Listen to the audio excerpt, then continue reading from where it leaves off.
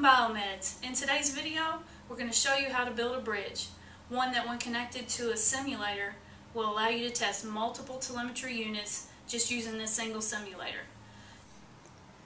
Cut one 12 to 18 inch and three 6 to 8 inch pieces of brown wire.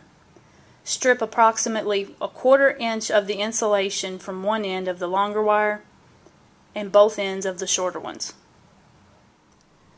Twist one end of a shorter wire and one end of the longer wire together, then insert and crimp them into the spade terminal.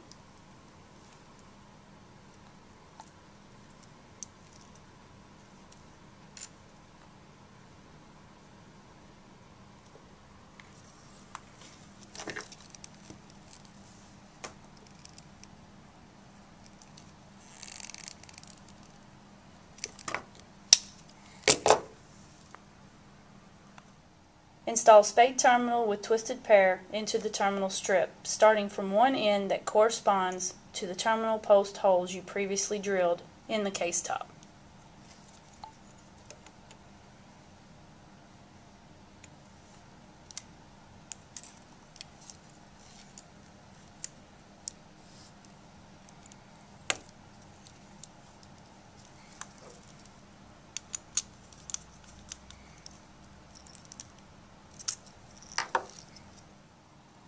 Repeat the process for the remaining four colors of wire, notating the order in which they were installed.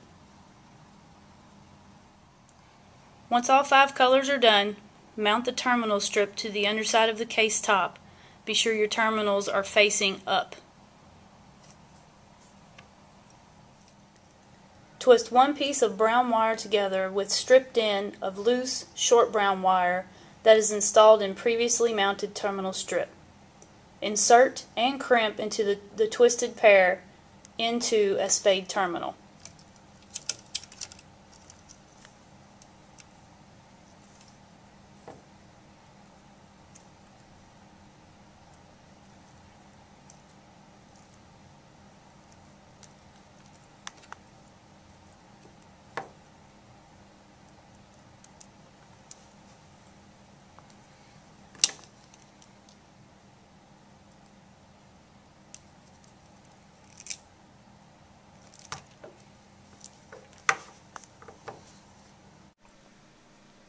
Install spade terminal into second terminal strip following the same order as before.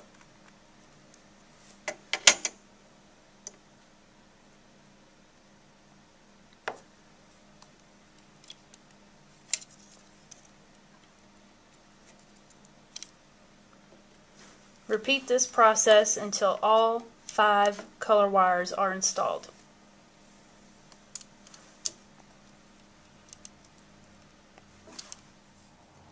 Mount the second terminal strip to the underside of the case top using the same orientation as the first terminal strip.